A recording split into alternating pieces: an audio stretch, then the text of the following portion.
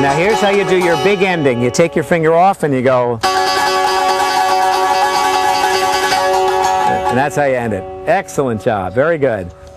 So those little songlets that we made, we made a couple different patterns and we practiced them and then you did some where I just said the numbers and you did them. You could make up your own songs like that. If you make up two or three or maybe four songlets, then string them all together. Now you've got a longer melody and you could put words to it.